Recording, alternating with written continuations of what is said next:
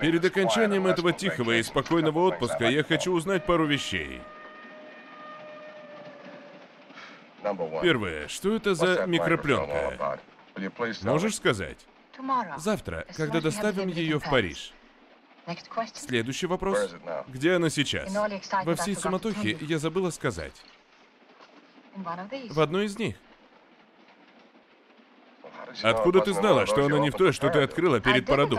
Я не знала, пришлось рискнуть. Но пуль было пять, шансы были в мою пользу. Что за девушка? Признаю, это был крупнейший риск в моей жизни. До сих пор. В смысле? Может, ты захочешь пойти на еще больший риск? О чем ты? Обо мне? Как мило. Конец.